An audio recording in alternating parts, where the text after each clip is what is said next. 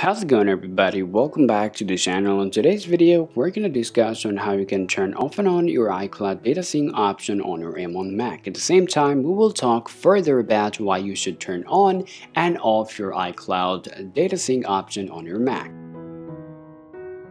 Now if you want to turn off and on, the first place you want to go is your Apple logo. Come down to your system preference and now click on your Apple ID.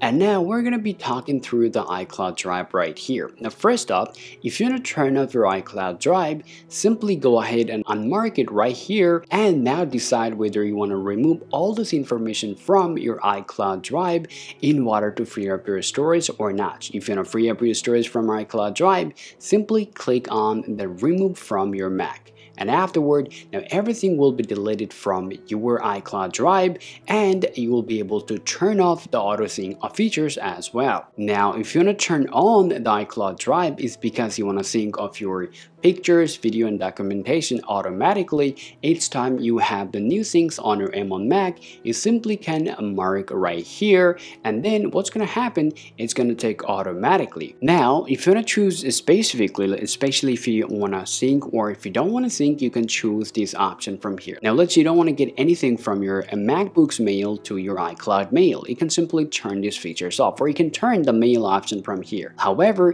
if you want to get things automatically be synced with your iCloud account, you can simply mark it over here. It can be your mail or any other application. If you want to get auto synced, with your iCloud account. Now, once you've just done that, you can click done and you're good to go. In the same way, you can do the similar work with your other applications such as your contact, calendar, and reminder and more. If you want really get anything important and you want to get a backup, simply mark them up. And if you don't want to see anything important going on for any application, and you simply can unmark it and then you're good to go.